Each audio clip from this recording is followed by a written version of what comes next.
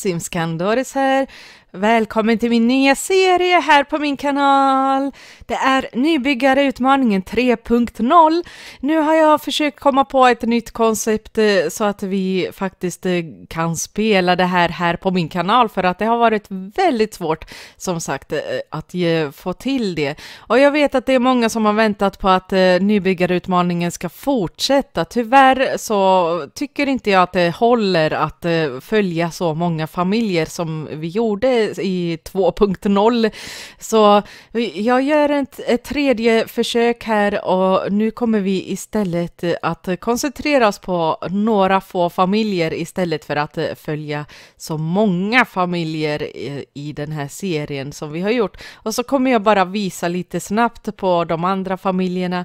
Vi får se eh, hur jag gör till slut, men eh, det här är i alla fall Aya Aroro. Hon är en sjöjungfru bor i Solani och vi ska se lite grann på henne hur hon är. Prinsessan Aya Aroro av havet, hon är ju en sjöjungfru och eh, så här ser hon ut när hon är sjöjungfru. Hon har lite smink eh, faktiskt från, eh, vad heter det, eh, Dags att jobba spelpaketet. Jag tyckte att det passade på en sjöjungfru och hon har eh, de här speciella ögonen. Hon har också huggtänder, eller inte huggtänder, men de här sjöjungfrutänderna som kommer med i spelpaketet. Så hon ser lite läskig ut när hon är sjöjungfru, men när hon är i sin mänskliga form så har hon ögonbryn. Det hade hon ju inte där i, som eh, fisk eller som, som eh, sjöjungfru. Hon har också helt vanliga tänder och sådär, så hon ser mer mänsklig ut, men hon har fortfarande kvar eh, ganska så här, eh, hennes eh, utmärkande drag, liksom väldigt isärliggande ögon, stora ögon och sådär. Men så här ser hon ut. Hon har blivit väldigt fläckig av solen. Hon låg och solade som sjöjungfru i vattnet och så fick hon de här eh, ränderna eh, och ser ungefär ut som jag när jag har solat. Eh, jag blir också sådär fläckig av kläderna. Men i alla fall, här har vi prinsessan Aya Aroro av havet och eh, hennes ambition är faktiskt att vara en arkeologiforskare och det finns två anledningar till det. Eh, det har ju kommit en ny ambition med spelpaketet och eh, det är eh, den här Strandliv. Men det passar faktiskt inte Aya Aroro överhuvudtaget att vara den som vill leva strandlivet. Hon vill vara en arkeologiforskare för att hon är nyfiken sim. Hon vill upptäcka världen, hon vill gå runt i världen och utforska så mycket som möjligt och då passar det väldigt bra att vara arkeologiforskare. Dessutom har jag tänkt att mina simmar eh, kommer att få följa de här ambitionerna i eh, bokstavsordning så att eh, alla eh, kommer att ha olika ambitioner utan att jag behöver tänka, försöka komma ihåg vem som hade vad. Så eh, arkeologiforskaren ligger som första ambition och det passar henne väldigt bra och jag är jätteglad för att eh, det råkade vara den första. Eh, hennes extra egenskap blir då snabblärd Eh, Eh, hon är en aktiv sim och eh, hon är också ambitiös och insider.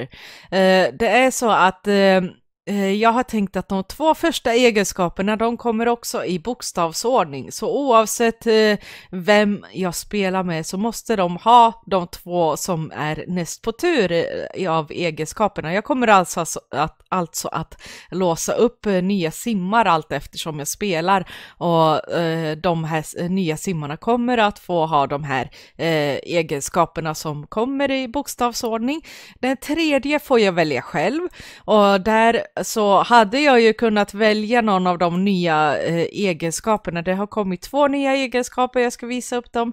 Här har vi öbarn. De här simmarna känner en andlig samhörighet med Solanis öar, hedra öarna genom att delta i deras kultur, framkalla mäktiga naturkrafter och skörda frukterna av deras välsignelse eller ta konsekvenserna av deras ogillande. Och så har vi också havets barn. Besvara havets kall. Simmarna med den här egenskapen föredrar vattenrelaterade aktiviteter och känner ett starkare band till havets invånare.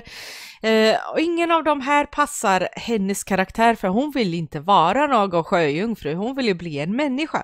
Så hon passar inte att vara som eh, havets barn och eh, hon passar inte heller att vara ett öbarn eftersom hon vill ut ur ön. Hon vill inte stanna kvar på ön utan hon kommer att utforska hela världen. Och eh, tanken är att hon kommer att vara ledaren i hela den här kolonin och för att eh, sköta om eh, hela eh, liksom kolonin, det politiska i kolonin så eh, har jag satt henne som insider för att det innebär att hon kommer att kunna ha lite gruppträffar och sådär och eh, träffa på eh, de som eh, är hennes undersåtar som tar hand om hela kolonin. Det har också kommit en ny sån här knapp, äntligen. Jag förstår inte att den inte kommer förrän nu. Eh, och det är att slumpa fram egenskaper. Jättebra grej som jag verkligen har längtat efter, men den kommer vi inte att använda i den här serien för att jag går i bokstavsordning. Eh, tyvärr så slumpar den bara fram egenskaper och inte eh, eh, ambition och det tycker jag är lite lite tråkigt, men, men man får tydligen inte allt här i världen. Det här är i alla fall eh, mm, eh Aroro och eh, hennes kläder kanske vi ska titta på. Det här är hennes badkläder men i vanliga fall ser hon ut så här. Eh, jag tänker att hon har inte hittat så många olika kläder så hon kommer gå omkring i samma kläder men hon byter frisyr lite då och då. Eh, hon har samma kläder som finkläder och allting, lite löv hade hon där på händerna. Eh, men i övrigt så ser hon alltid likadan ut för att hon har inte så många kläder kläder Hon kommer att få fler kläder allt eftersom i eh, serien eh, avancerar här då. Så, så här ser hon ut och eh, ehm, just nu så är hon ju solbränd så hon ser lite mörkare ut än vad hon brukar vara. Eh, så här ser hon ut. Hon har eh, rosa lila hår. Jag vet inte vad man ska kalla den här färgen. Är det rosa eller är det lila? I alla fall. Och eh, jag funderade på att ha bruna ögonbryn på henne men eh, bestämde mig för att inte ha det. För hon är sjöjungfru och eh, då har hon en udda hårfärg helt enkelt. Så hon bor helt ensam här på den här ön Solani, men hon har åtminstone sin bästis eh, delfinen. Hon kallar den för bästis och eh, uppe på land så har vi enbart lite fåglar, kanske någon hund och katt som är herrelös här och där och några råttor kanske till och med i San Mishono. Men några simmar finns det inte. Och det är här, hörni, det här är inga simmar, det här är älgar. Självklart finns det älgar som alltid och de här ska vi akta oss för. Ingen sim får eh, umgås med de här förutom om de eh, faktiskt är en del av karriären eller eh, något annat uppdrag där de faktiskt måste prata med simmare som är NPCs. Men annars får vi inte interagera med de här för någon liksom för nöjes skull. Eh, älgar är livsfarliga, bara så ni vet. Jag kommer inte att eh, gå igenom alla regler här och nu för att det är väldigt, väldigt eh, stora, många regler här i den här utmaningen. Men eh, jag har lagt till en länk. Det är jag som har kommit på de här eh, reglerna. Jag har blivit inspirerad av eh, några andra eh, utmaningar som finns. Men eh, jag har satt ihop dem till någonting som jag själv ville göra. Och jag har lagt till en länk där ni kan läsa om de här reglerna och följa allt som händer här på ön också. Eh, för jag lägger upp allting på hemsidan hoppas jag att jag kommer ihåg att göra. Eh, men i korta drag så handlar det i alla fall om att man ska uh, Eh, bilda en koloni och man får utföra massa olika uppgifter för att låsa upp nya simmar att befolka världen med och de ska också eh, skaffa barn och sådär och föröka sig och eh, till slut så ska vi fylla hela simvärlden med både simmar och olika slags tomter och de får inte ens jobba med vad de vill utan det finns speciella regler för vilka yrken som låses upp av olika uppgifter och sådär. Så så det är väldigt, väldigt omfattande regler och eh, det är lättare att eh, gå in själv och läsa om dem om man skulle vara nyfiken på exakt eh, vad som låser upp vad och sådär. Men självklart kommer jag att nämna det under seriens gång, vad som låstes upp, när och sådär och förklara varför och sådana saker. Men eh, än så länge så har vi alltså bara Aya Aroro här och hon lär sig att gå på sina egna egna ben som hon inte har haft så länge. Eh, hennes historia är att hon är ju en sjöjungfru och Eh, hon har fått i uppgift att befolka världen för att det har ju som sagt blivit tomt. Alla simmar har försvunnit och nu har hon kissat ner sig också för första gången. Hon är van vid att kunna kissa i vattnet och att det spolas eh, bort så fort hon har gjort det. Men eh, det här var inte samma sak att kissa uppe på land för att då börjar man stinka och man blir kladdig och det var äckligt och nu vet hon det i alla fall. så Eh, hennes uppgift är att befolka världen och eh, det är det hon håller på med och eh, i den processen så inser hon också att eh, hon vill faktiskt vara en av dem eh, för att hon vill inte hon vill inte tillbaka till havet. Hon är en prinsessa av havet, men eh, hon vill inte vara kvar där. Eh, hon trivs inte riktigt med det, hon är så trött, det är alltid samma sak som händer och, hon, hon trivs inte med det livet. Hon tycker att det ser mycket mer spännande ut att vara ovanför vattnet eh, uppe på land. Så det är vad hon eh, har som mål här i början i alla fall och jag vet inte, det kan ta ganska lång tid innan jag lyckas men tanken är att hon ska bli en eh, människa till slut eh, och eh, för att bli det så måste hon ju hitta två stycken sådana här eh, sjöjungfrukelp eller vad det hette. Jag kommer inte ihåg vad det heter, men någonting, några rötter eller någonting sånt där måste hon äta för att bli full människa. Än så länge så kan hon bara förvandlas en stund och sen måste hon tillbaka ner i vattnet hela tiden och eh, så vill hon helt enkelt inte ha det. Och nu har hon faktiskt hittat en eh, lämnad toalett här som har klarat sig undan från eh, stormarna i eh, världen. Och eh, den står kvar här så hon lär sig att gå på toaletten för första gången. Och medan hon är där så får hon ett meddelande ifrån någon som säger att eh, det finns eh, öronsnäck veckor att eh, få som hon fick helt gratis. Och jag har aldrig fått det här och jag vet inte när den dök dök upp om det har med eh, Paradisön att göra eller vad det är. Jag har ingen aning. Men eh, jag ville testa vad det är för någonting och det var ju såklart bara hörlurar som hon kan bära med sig och lyssna på musik. Och det får hon faktiskt inte göra och jag tänkte inte mig för. Så jag ville ju testa det och eh, hon fick lyssna lite på musik. Men sen sen insåg jag att det finns ju ingen elektronik, så hon kan inte använda det. Jag får se till att sälja av det nästa gång jag spelar, eh, så att hon inte har kvar det, för att eh, det är inte okej okay att lyssna på musik än.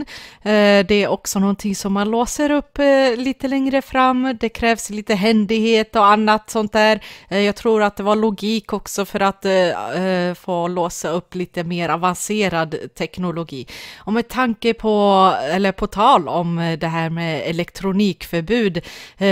Det finns inte några lampor eller spisar eller kylskåp, ingenting funkar. Och eh, nu med eh, den nya eh, tomtegenskapen som kom med den gratis uppdateringen till alla där eh, den som heter Bortkopplad, den kommer att passa perfekt här i den här eh, Let's Playen eh, för att då innebär det att de inte kan använda sig av de enklaste, eller jo, de allra enklaste bekvämligheterna finns tillgängliga men inte vad som helst. Så vi kommer att använda bortkopplad som tomtegenskap ganska mycket här och på tal om tomtegenskaper, där har jag också tänkt att eh, tomterna ska eh, följa en, eh, en eh, bokstavsordning på alla egenskaper. Och nu så kan vi ju kika på hur det ser ut när man bygger också, för att jag kommer bygga jättemycket i den här eh, Let's Playen. Eh, alla tomter är ju borta, jag har bulldozerat varenda tomt som finns i hela världen och eh, simmarna måste ju ha någonstans att bo och det kommer ju bli mer och mer avancerade hus såklart. Ju mer pengar de får, desto mer får de också eh, större hus och sådär och, och så när elektronik blir upplåst så kommer de kunna ha elektriska prylar och sådär. Men från början är det väldigt primitivt och Enligt reglerna som jag själv har skrivit så ska de inte ha någonting alls. Man får inte bygga överhuvudtaget och så ska man eh, ge dem noll simdaler genom fusk. Men jag valde att göra tvärtom, eller på ett annat sätt i alla fall. Eh, istället för att ta bort alla pengarna så fick hon bygga eh, en eh, startbas eller vad man ska säga, men den ska vara väldigt, väldigt primitiv. Så nästan alla hennes simdaler gick till att eh, bara, eh, bara eh, landscaping, vad heter det på svenska? Alla de här buskarna och sånt där. Eh, så det är nästan alla hennes pengar går åt till det. Men hon har också ett skeppsvrak som eh, vi säger att hon hittat här. Eh, så jag har flyttat på skeppsvraket som finns med i Solani från början. Jag har flyttat det till den här andra tomten och så har jag byggt dit en liten så att man kan gå ner under skeppet. Och Eh, jag stängde av en stor del av eh, det utrymmet eh, och det kan man väl låsa upp med tiden tänker jag kanske när de har råd. jag vet inte riktigt hur det ska bli men de har i alla fall skydd från regn och ifall det skulle vara kallt väder och sådär. Det var därför jag valde att låta dem ha något inomhusställe att gå till även om ja, reglerna säger annorlunda. Så de tomtegenskaper som kommer finnas här det är eh, avlingsmark tror jag. Eh, vilket inte alls är passande egentligen men det får det vara för att eh, sådana är ju mina eh, regler och de här eh, reglerna finns inte med i regelboken. Eh, det är bara någonting som jag vill göra för att jag ska vara säker på att alla tomtegenskaper blir använda. Och så ja, det, det kommer vara avlingsmark och eh, bortkopplad och sen kanske den tredje eh, Eh, egenskapen får jag ha som valfri tomtegenskap. Så tror jag att jag kommer göra. Men det innebär också att det kommer antagligen komma en del speedbuild-videos här på kanalen så småningom. Och på tal om speedbuild-videos eh, och sådär, det, det, kommer inte att vara så här ihopklippta eh, videos i framtiden från den här Let's Playen utan det, det kommer vara mer gameplay. Men som så här startvideo så vill jag göra en, ett ihopklippt litet, ja, en video helt enkelt som är ihopklippt. Så det har jag tänkt att det kommer bli mer gameplay eh, i fortsättningen. Så vet ni det, så det kommer inte vara en voiceover överallt och sådär. Eh, och Eh, Eh, men här emellan episoderna innan nästa avsnitt så tänker jag att eh, jag kommer att spela en del med eh, Aya Aroro för att hon ska avancera lite grann och komma någonstans och börja närma sig att låsa upp en ny sim så att det kan hända saker här i kolonin. Men regler hittar ni som sagt under i länken som finns under beskrivningen på den här videon. Och då ja, det är bara att kika in där och där kommer jag antagligen också att eh, publicera en del om eh, vad som har hänt här och sådär som inte kommer att finnas med i videos. Eh, jag får se hur jag gör och vad jag har tid med. Men tack så mycket för att du har hängt med mig idag. Ha det bra, puss puss, dägg dägg!